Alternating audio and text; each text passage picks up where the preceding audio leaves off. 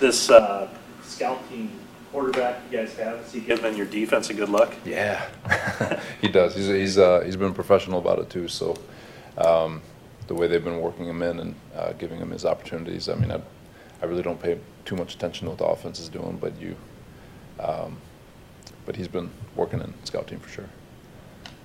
with, with Solomon working his way back in, way back in, if and when he does come back, I mean, you're going to have a rookie at every level of the defense. Do you, do you have a philosophy as a coach as to just how you incorporate them into these starting roles, particularly late in the season? They'll be playing a longer season than they have before. You, um, you can never be afraid to play a young guy. Ever, ever be afraid to play a young guy. There's, will you have lumps with them learning, learning the way? Uh, I do believe so, but um, for us and, and, and the way we operate, uh, you know, the, the veteran has the ability to recognize and diagnose and play a little bit, uh, play much smarter, a much smarter brand of football, and because of it, they can play with a little bit of speed because they can anticipate uh, what's happening to them. A young guy might not be as on it, but he can make up for that lack of knowledge with speed. So how can you get that young guy to play like a veteran? He has to play, and the more they play, the more the quicker the quicker as a staff we can get those guys to play like veterans while they're youthful. And with all that speed and juice that they just got out of college, that's how you get those fast, explosive defenses that you've seen in the scheme. What did you see from Adrian early on to, I, I know you got a necessity at safety, but to, to switch him from cornerback, what, what did you like about his skill set there? He's got he's got great range uh, in the middle of the field. He's got what, what I'll call uh, professional. He's a professional safety. He's a professional football player in that he can go red line to red line uh, and cover. You saw the goal ball that they had um, uh, to our defensive right. That I mean, he was on the other hash and tracked all that, sp- took up all that space, which is really really cool for a rookie to be able to do that. And it just shows that he is an NFL caliber safety. Uh, his tracking angles in space uh, when that ball does reach that second level, we'll call him the eraser to erase all the issues that might happen in the run game. He has the ability to track in space, which makes him a really good special teams player. Um, so now the last part that we're trying to get to is mental. Uh, if he can get to that mental speed, we feel like he might be able to be a, a, a pretty good safety, but that's, that's the last part of it. A, a guy being drafted in the seventh round, it, it sounds like you're talking about qualities that, you know, if th- those are recognized in college, that maybe he would be picked higher. Were, were those qualities that you learned when you, when you got him in the building, as opposed to scouting him in college? Um, he, the the speed, we, we knew the speed, we knew the physicality. Um, uh, we knew that he, he was a really good tackler and all that stuff, and and so we did have him at corner initially, uh, just because of the the way the roster had panned out when we when we had first gotten him. So when he had his opportunity to go play safety, we we were able to see some of the things that he was able to do, some of the things that we like out of a free safety, and so uh, leaving him in that spot and giving him a chance to go play it, it's, uh, it's kind of I guess you could say it evolved. He seems to have a, a bit of a, a chip on his shoulder. Is that something that he's shown, you know, since he got here? I mean, uh, Yeah, yeah, he's uh, he's relentless in his uh, work ethic and his preparation, and um, I love the way he hits. Uh, he's a very physical football player, and it's very important to him. Um, is uh, I don't know if it's a chip as much as it, as it is important. Where every play is very, uh, every rep, every play, every meeting, it's very very important. He's very into it, and he has something to prove uh, for sure. You mentioned he's a a physical football player. The, you know, last two guys who played free safety both broke their forearms on the same type of hit. I mean, is there anything wrong with the way they, they came into those hits? I mean, can you coach around what happened? Uh, I, I- I still think they're freak accidents. You know, we teach um, head out of the game, leverage side, shoulder tackling. Um, uh, if you watch real closely what happened to Tartt, he um, he was coming in for that tackle and he had a shin to a forearm, and it's I, I- I'm guessing the impact of the of the uh, the impact is what caused the break. But they're freak accidents when you get when you get something like that. Um, so there's, uh, I, don't- I don't know if there's anything teaching, you know, uh, we, we once had a free safety a while back ago. We teach getting the ball out and he went for a rip attempt and he broke his, he broke his wrist. Malcolm Smith tore his pec on a rip attempt, something that you, it's just fundamental teaching, so you, uh, they're freak accidents and, and you wish they don't happen, but, uh, it did. With, with Tartt, you, you didn't, obviously didn't get the sample size that you wanted for the season, but you got to see him at both safety spots. Moving forward, can you evaluate maybe where you think he fits better or where you would like to see him long-term? You know, I, I I think Tartt's good at both. I really do. I I know it's not the answer you're looking for, but uh, he's he is. He's got he's got great instincts in the back end. He's uh, to play uh, the middle the middle of the field. He takes great angles. He's very physical back there, and he's got great range. Uh, in the box, he's really good. He's a very physical football player. He's a hell of a man-to-man matchup uh, on tight ends. Uh, you feel very comfortable uh, against any tight end in the league with him, and uh, he's a physical tackler. So, and he's smart. He is. He's very smart. So you're. Uh, he's he's he's a luxury in the sense that you don't have to pigeonhole him, so to speak. He can he can do both, and you can just continue to work at adding people and knowing that he can be a plug and play type player for sure. Officers game. Uh, Reuben, Reuben did well. He had, you know, like all rookies, he, there's a couple things that I'm sure that he wishes he had back, but he sh- he showcased the playmaking ability that we all recognize in college. He's he played fast. He was physical. He had a couple of really great tackles out in the open field on AP.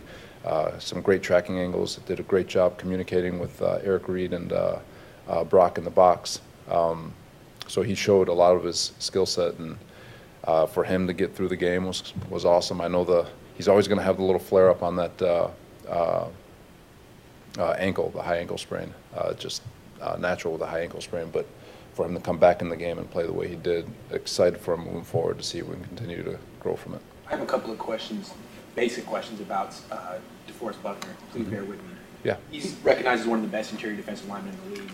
How would you describe his job in the defense, and what is he good at? So he's a uh, obviously he's a three technique. Uh, first and foremost, he's a uh, dominant three technique in the in the run game. That's his first job is to make sure that he gets great penetration, sets edges, and uh, and just wreaks havoc in the backfield as much as possible. And then obviously in the pass game, same thing from a three technique spot to be able to win one on ones and get to the quarterback. Um, he's done an unbelievable job at doing exactly what we ask him to do. Uh, there is an art to being able to penetrate and maintain your gap, and he's and I believe that he's mastered that. He can penetrate and create knockback, still maintaining his gap, and he wins constantly. He constantly wins one-on-ones. His sack total is not where it wants to be, and teams are sliding protections towards him, uh, taking completely eliminating him from the game.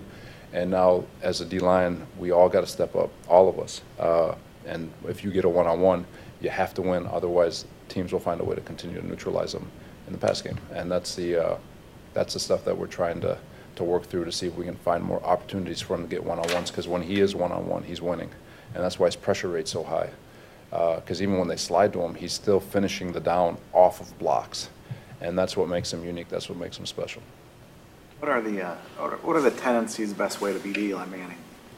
Eli, um, God, he's still a Hall of Fame quarterback. You know, he's uh, he's um, uh, I don't understand the New York media. No disrespect, but they, God, uh, he's good, man. I mean, he's he, he can make every throw. He's he's accurate. He's uh, uh, he stands in there and uh, will take a beating and, and still get up and still make unbelievable throws. So to, to get after to for Eli, like every quarterback, you, you got to make him uncomfortable, and uh, and that's a challenge for us up front is to find a way to make him uncomfortable, like it is every week. Every week it is. So What, what's the thing? Go ahead. To fall back on, on DeForest, what, what's his next step in his evolution? I know you talked about getting the one-on-one matchups, making sure you have that, but for him as a player and his skills.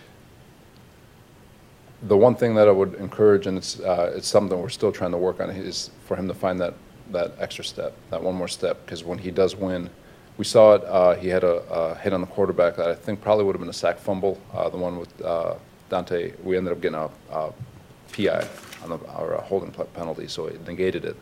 But when you look at it, it looked like it was going to be a sack fumble. So that step that we're working on, bending the corner to be able to, when he does win, that it's at half a step. That's what makes players elite. A lot of players can win. Not very many can win at the rate he does. The elite ones have that uh, two-yard burst to the quarterback uh, to to create that sack production, uh, for lack for lack of a better word. But that would be the one thing if there's something that he needs to improve in his game. And the one thing that we're continuing with him is to find that extra step, find that extra bend, find that extra, uh, find the lean that when he does win, uh, to be able to get the hit on the quarterback and bring him down with the ball. What's that? How do you find that extra step? What do you? Uh, Zgonina does a great job drilling it. So you got, uh, there's a bunch of different drills to help him with his lean, his pad level, uh, helping him uh, uh, stay low to the ground where when he does win to be able to, uh, instead of having a long uh, hoop to run, it's a tighter hoop. And so those things, you just continue to drill it and drill it and drill it. And, um, uh, and that's, that's the best you can do with it for sure. What Coach, you guys struggled a little bit in the run game as of the last few games. Um, and earlier in the year, when Tank Carradine was playing, he looked like he didn't miss any assignments, played sound football, really set the edge. You talk about being a dominant edge sitter. He was a dominant, dominant edge sitter in the run game. How much a lift is having him back in the fold? It'll be a great lift, uh, getting him back, because I, I do think he is a, a very dominant football player. I will challenge you on the run game part, though. Um, uh, you know, we are only giving up 3.9 a carry, and anytime you can give up less than four yards a carry in the, in the run game is pretty good. Uh, shoot, when you get 35 carries thrown on you, I'd like to think I could run for 100, but you're going to have a lot of yards run on you, and it's. Uh, So from an efficiency standpoint, when we look at an efficiency, from efficiency uh, in the run game, we feel like we've been uh, much improved, and we are performing in the run game much better. The yards don't show it, but from an efficiency standpoint, when you break down play to play, it's, it's much improved, and it can get a lot better. And with a guy like Tank, it'll improve. This was a couple uh, weeks ago, but uh, was Ward's injury also kind of a freak thing? It was, uh, again, it came on a tackle, and for him, uh, I I couldn't exactly see how it uh, broke in the pile, but uh, anytime you break something, I I think they're, especially in this league, I think it's kind of a freak accident, in my opinion, because the way way you get rolled up on, they're so, these players are so strong. If you, to break something, it- something goofy has to happen. And to- to, to follow up on that, and then with Adrian, you've got at that free safety position now, those are two guys with a lot of cornerback uh, experience in the past. Is there anything in particular that, that a, a a cornerback might that spot that, that you might like that translates into something positive? Uh, Good foot speed. Uh, They, uh, usually a, uh, uh, you know, the corners, what they add to it, I guess, would be more speed. You'd, uh, you'd love to say that they have a little more instincts and all that, but really, when it comes to, to the back end play, just being able to read the quarterback and all that, from our system, I, I don't know how much that would really translate, to be honest with you, uh, from corner to safety, except for the, the range and the speed. Why move Reuben to Will in base downs? For uh, the for the defense overall in general, um, like we've talked about before, we, we think Brock Coyle is one of the better communicators on this on this defense, being able to get the close call and all that. And when you have a, a guy who can command the huddle, uh, set the close call, make all the checks, that puts ten other people at ease.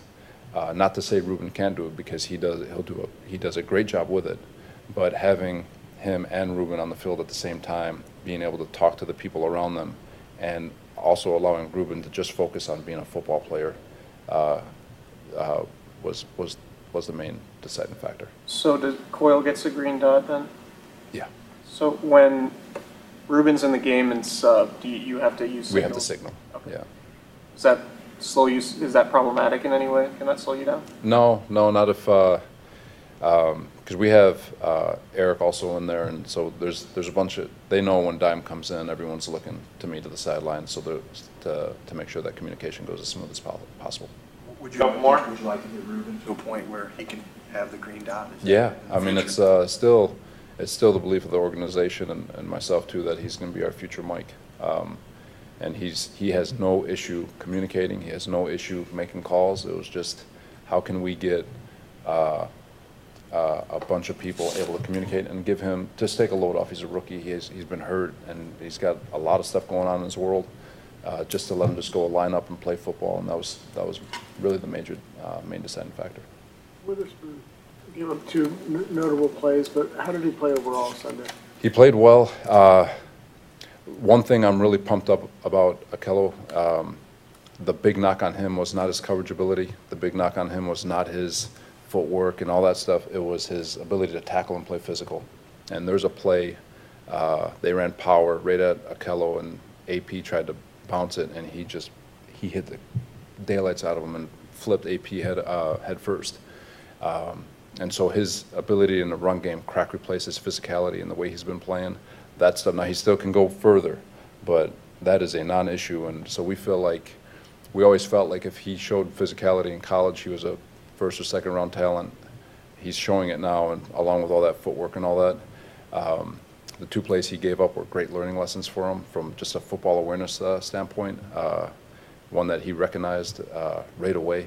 Uh, so just that's the part I'm most pumped about is the physicality he's been showing.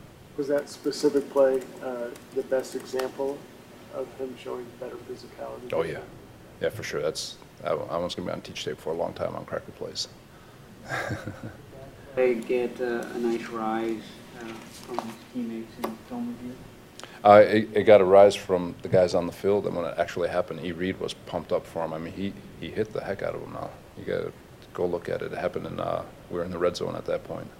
Uh, just pull it up if you guys want to go watch it again. It's, was a pretty cool play. Good. All right. All right. Thank you all.